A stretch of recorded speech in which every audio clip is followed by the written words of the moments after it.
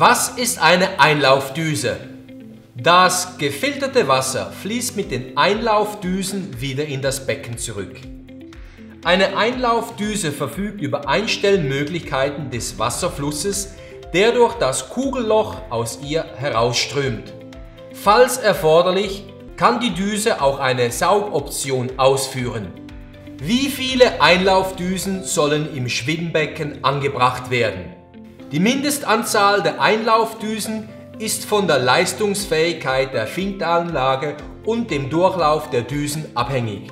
Wenn du wissen willst, um welche Zahlen es sich handelt, gibt es dafür eine einfache mathematische Gleichung. Teile die Leistung der Pumpe der Filteranlage durch den Einlauf der Düsen.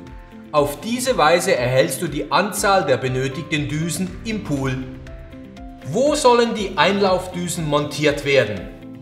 Die Düsen sollten auf der gegenüberliegenden Seite des Kimmers angebracht werden. Mindestens 20 bis 40 cm unterhalb des Wasserspiegels.